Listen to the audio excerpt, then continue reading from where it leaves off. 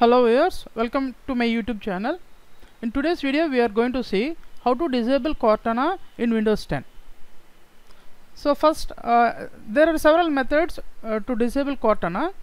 So let's see how to turn it off in 20H2 update or 2004 update or 1909 version of Windows 10.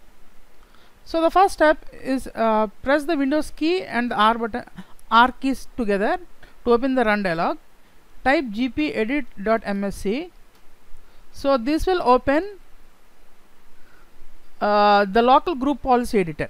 So this local group policy editor is only available for uh, administrators. So only windows 10 pro edition and higher versions will be able to see this local group policy editor. So now uh, uh then uh, you can uh, navigate to the path that is mentioned in the description. I have provided in the description so you follow that path. Computer configuration administrative templates windows components and search.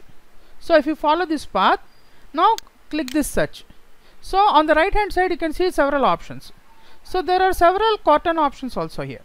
Now uh, disable allow Cortana option. Allow Cortana option is there by default it is not configured. When you double click it you can see there are three options not configured enabled and disabled so now you disable it and click on ok. So now you can see that the, this has been disabled. So this is how you disable uh, Cortana in Windows 10 using group policy editor. Now you can do another thing to make it uh, disabled uh, another option is you press the Windows plus I key and uh, click on privacy backgrounds click on uh, privacy background apps. So here you can see all the background apps that are running currently in Windows 10 so in this list you can also see the Cortana. So you can see Cortana. So I have disabled it but if you have uh, the apps running in the background you disable this app also. The corresponding you can turn it off.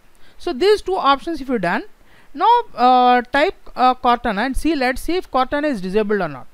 Now press the run dialog and uh, and search for Cortana Cortana in the search box.